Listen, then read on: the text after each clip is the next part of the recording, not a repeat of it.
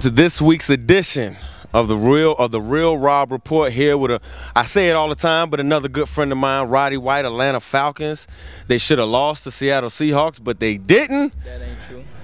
How you doing this this offseason, man? We're not gonna talk about the game. I'm doing good. We ain't got to talk about the game, but we never should have lost to y'all. You know what I'm saying? Y'all was lucky to get back in the game with us. Lucky? Yeah, lucky. I mean, we scored points. Our qu- our quarterback balled out, and we got back in the game. We're so fortunate about that. Y'all fortunate to get those three plays to get a field goal. No, no, no, no. We've been in that situation too many times. You know, we understand the moment. You know, y'all got a little bit too hype over there. You know, we seen y'all sideline running up and down. It's over. It's over. No, no, no. We still had two timeout. What do you uh, talking about the Atlanta Falcons? What do you think you guys need to do to get to that next level to beat a team like San Francisco to get to that Super Bowl? I just think we just got to continue to get better, man. You know, I think this team has improved every year. You know, and um, as long as we continue to do that, man, everybody continue to be hungry. You know, hungry and humble, man. Get out there and do those things, and we'll be a okay, man. We'll go out there, we'll, we'll win us one. All right, you know I got to go there. Best cornerback in the league. Well, right now he hurt. so uh, you know, um, he'll be back though. I seen some footage of him running around here for Fisher Sports. So you know, he's uh he's the best guy until you know till uh, he comes back and, and he can't prove it. So you know, you know, Darrelle right now is is the best corner in the league. You ain't know. gonna give my boy no love. I can't give him no love. Why not? I mean, he he, he uh, the, the the numbers do speak for themselves. I mean, you can't say this man ain't had a good ain't have a good past two years. Uh, I, I mean, I didn't. I mean, we went down to Seattle two years ago, and he wasn't even on the field when we was out there. So it's kind of hard for me to just put him, throw him in the best cornerback, you know, situation. You know- seen him on film though. You see him, but you see, that's the thing though. I watch him on film, and he don't jump off. It's it's nothing that jumps off about him. You know that I'd be like, oh, I'm gonna lose sleep. You know, getting ready for this guy. You know, so that's my thing. That's my take on him. He's a he's a good player. You know what I'm saying? But he's not somebody that I wake up and be like, I got to run some extra routes, so I got to do some extra things that you know to get ready to play against him. You know. Okay, talking about that. I know you consider yourself one of the best receivers in this league. Who who would you consider to be in your company? I'm not gonna just say go out there and say the best receiver. You know what I mean? Because I think everybody has have different styles. But who would be in that in that company of that elite top receiver? Uh, it's a lot of guys out there right now it's, that are really, really good. You know, um, this has been a year. You know, um, back in the day, it was kind of like it was like a, a, a tree back in the day where it was just Rice, Cris Carter, you know, then Moss and T.O. But nowadays, it's such a throw-oriented league, and everybody's going out there throwing the football all over the place. It's so many good guys. You know, you Andre Johnson, Brandon Marshall, Calvin Johnson, Fitz, you know, Julio, AJ Green, Dez Bryant. I mean, you could just keep going, keep going. The guys throwing up 13, 14, 15, 2,000 yards out there. So it's so many good guys out there right now. It's, it's kind of hard to narrow the gap and say, you know, who's the best receivers in the game because we all bring such a, a, a difference to the game. And, and don't let me forget Demaryius Thomas. He, he's a beast too. Now, you, you talk about this being a passing league. With the evolution of offenses going to the spread and, and doing the read option and things like that, will there ever be a team that throws a whole lot more win the Super Bowl? Because it just seems like the Super Bowl winner always has some type of a run game. Uh, I think I think you throw the to get to the championship and you run to win it.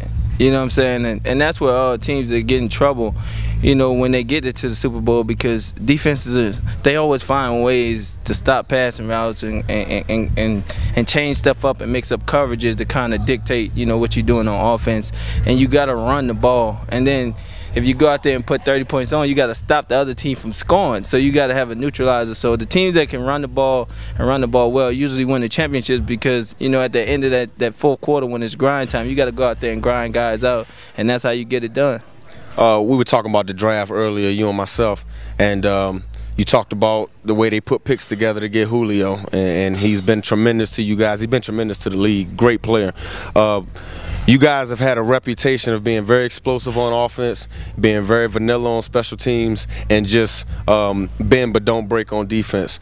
Do you think that this is the year that you may need to go out there on a limb and get a dominant defensive guy in the draft? Yeah, I think so. You know, I just think we need to, uh, you know, go out there and go fishing. Yeah. You know, we got to go fishing and, and get us get us one of them them them, them Bassmaster Championship fish. You know what I'm saying?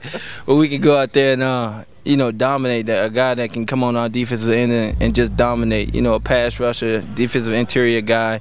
You know, I think our secondary is good and our linebacking core is, you know, is, is pretty good. You know, as it is. So I just think if we can get that dominate guy on the line that can go out there and, and give us some pass rush and get us some sacks, then we'll be fine. How do you let John Abraham go though? That's you can't buy ten sacks. You can't draft ten sacks. How does that happen? Man, that's management. I don't. I, I I'm on a lower level. You know what I'm saying? You know the building got two floors. Yeah, you know what I'm yeah. saying? I ain't up there. I don't. I don't even go up there. You know what I'm saying? I only go up there to talk to Coach Smith. Yeah, You know what yeah. I'm saying? I'm on the lower level. I just like staying in the locker room and stuff like that. But um, you know it's tough, man. Especially losing a guy like that, man, who's been such a such a good leader in the locker room and he comes in, he does his job year in, year out, you give you 10 sacks, you know, it's tough to replace that. And then, you know, just going out there and see how hard he works and, you know, he wants to win a Super Bowl and for him not to be on our team, you know, us be right there at that vert, that crack right there, you know, to get to that ceiling, you know, it's tough sled, man. So, I mean, I hope we can get him back. You know, he hasn't signed yet, so um, if we can find a way to just get him to ink a contract, I'll be all right, man. I know that's right, man. NFC South. We spoke earlier about Sean Payton coming back, New Orleans Saints, all those things. Again, with the with the recent, you know, I ain't gonna say trouble they've been in, but the recent struggles they've had. You know, defense being down, you know, bounty gate, all those type of things. You've played in this conference your whole career. Will Sean Payton make that big of a difference for the New Orleans Saints? I mean, with the chemistry in the locker room, you know, probably talking to the players, yeah. You know, but uh, you know, uh, they might win, you know, two or three more games with him, you know, at the helm. But you know, I just, I just don't see that that that team just going to being 13, 14 wins. You know, just because one guy comes back, he's gonna make that big of a difference. I mean, he is a, you know, an integral part of their their their whole block. You know, their whole thing that they got going, and those guys rally behind him and they get after it. But it's gonna it's gonna ease a lot of the storm because you know he comes back, he's gonna be the play caller, he's gonna go out there and do his thing and you know get Brees and then ready to play. Great stuff. You know what I'm saying? Great stuff, Roddy White. We're gonna come right back. We're gonna go pay a few bills here real quick. We'll be right back with Roddy White. Gotta pay them bills. Gotta pay them bills. The shot's so carefully done because if anything, you don't drop the camera. I'm not, dude. Don't drop the camera. Please put on some clothes, man.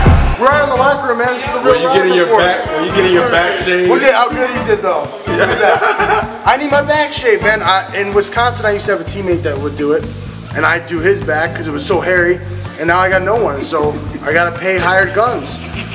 It's hard. This is. All right, you ready? Yes, I'm right, so keep me on pace here Okay. because we talked about this earlier. Marshawn sold out.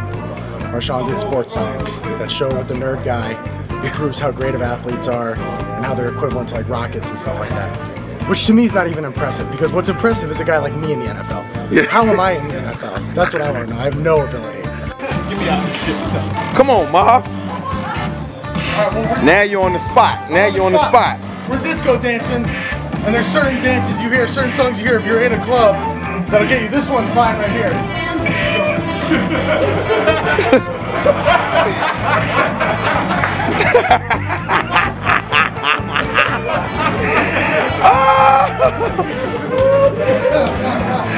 You are retarded, dude. And you dropping water on them. Just tell us, just Just two pieces of that made it to the league. Never should have made it anyway. Not even supposed to be here.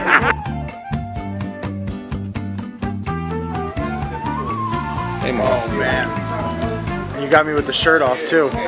This is really, this is really gonna sell now. Oh my God. You know what? I tell you this all the time.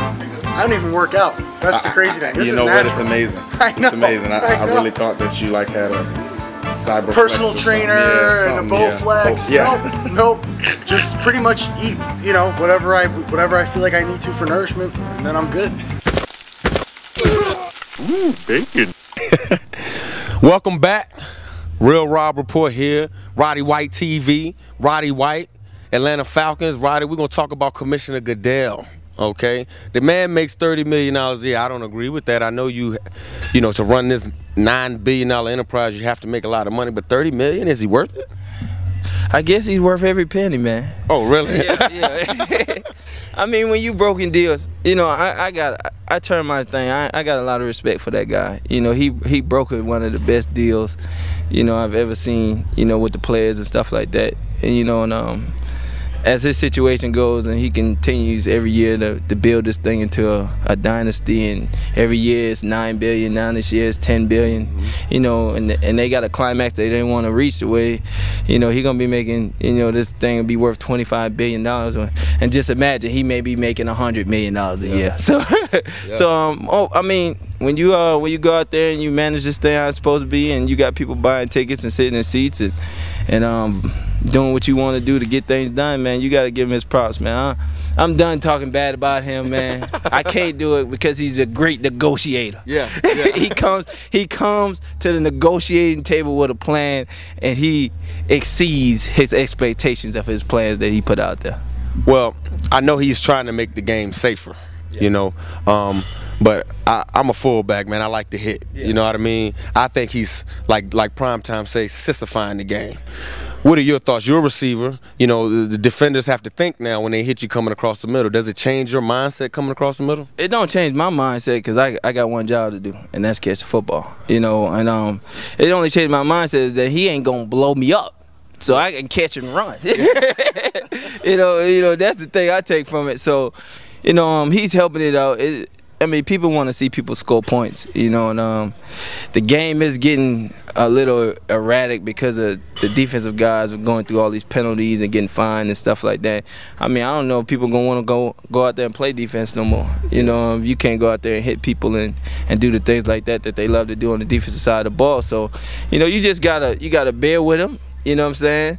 And um, hopefully, you know, the competition committee could change some of this stuff. You know, they're gonna evaluate how it is, you know, through years of playing and, and things like that. And if it ain't working, we're gonna have to find a way to fix it. Should the competition committee have current players involved in in the decision making process as far as rule changes? Because we are playing.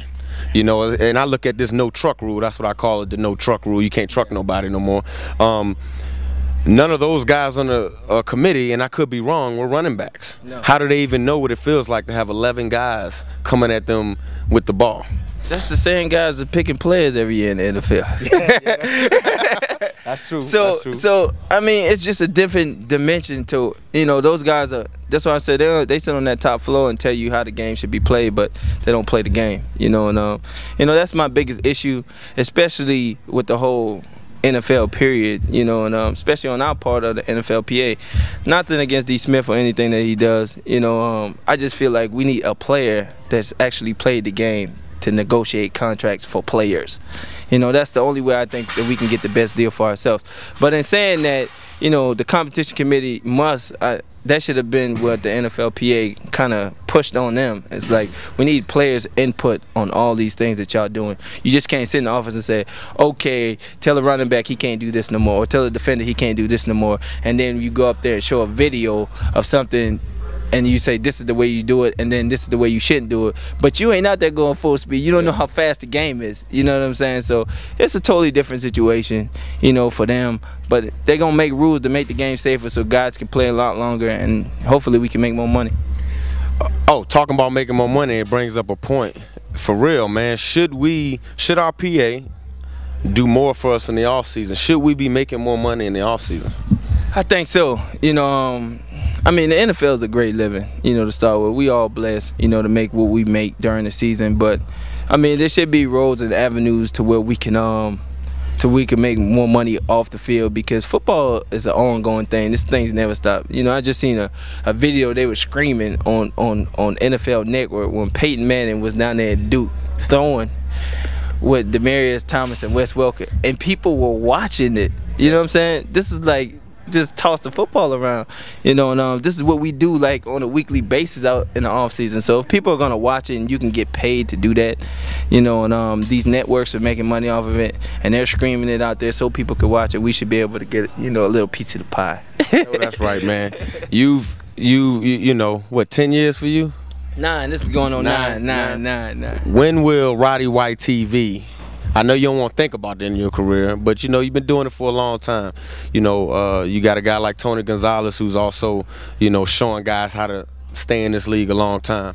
Are you gonna just keep doing it till the wheels fall off, or do you have a plan in the back of your mind as to when you want to call it quits? I, I have a plan, man. You know, I told everybody if I ever got to ten years, it, it would be a blessing. You know, and um, you know, I'm one year away from that. You know, and um, I just think about you know what I'm gonna do. I, I said if I make it to 10, you know, if I get to 12, I'm done. You know, I want to go on, venture out in other avenues of my life, and try to, you know, do things that I want to do. You know, and um, you know, I've saved a lot of my money, so you know, in that aspect, I would be pretty good at where I'm at in my my stage in life. But, you know, I just want to. Football takes up so much of your time, so much of your energy you know, I want to do other things like family things and, and, get together with my people and, and, and, take vacations and stuff like that. And that's an important part. But I also want to win a Super Bowl. So it's it's tough when you when you when you haven't won one and you like a year nine and it's coming up and you like, oh man, I need to win this thing. I need to win this thing. It makes so much more decisions in your life a whole lot easier. You know what you want to do and what ventures you want to go off into. Well, you know, you play in the NFC, and uh, the road is going to have to come through the NFC West. I'm sorry I had to say that, but I ain't gonna let you respond on that one. That the road to the Super Bowl's got to go through the NFC West. Why, anyway, why would you say that when the road didn't have to go through there last year and went through the Georgia Dome? But y'all lost. We did lose. So the road but, to the Super Bowl went through the NFC West. Not really. You have to have a home playoff game. Oh, that's what that means. What, when the when road, goes, goes through. through. Yes, yes. It's got. It'll be back in the Georgia Dome. It's you think so? You think so? Yeah, absolutely. Well, we got a segment on the Real Rob Report you know, we call it FaceTime. You know, you basically look into the camera.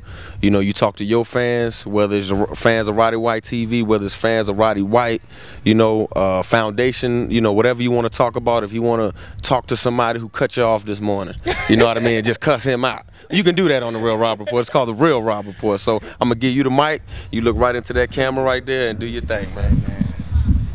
I just want to give a shout out to all uh, the Roddy White TV followers. Thank y'all for even following me, man. You know, it's been a tremendous pleasure, you know, to just entertain you guys and just keeping y'all going on. I just want to thank all the fans out there for Atlanta, you know, for coming out to the games and everything. We're going to keep y'all into it. We're going to keep y'all going, you know. We're going to hopefully, gratefully, go get us a big thing. Go get us one of those rings, man. You know, and um, you know, I don't have road rage. I don't do all that stuff. You know, I'm just chilling, man. I just love, I just love living life, man. That's what I love to do. So, you know, y'all love live life and laugh. You know, and um, we'll have a good time. All right, I'm out. Road to the Super Bowl.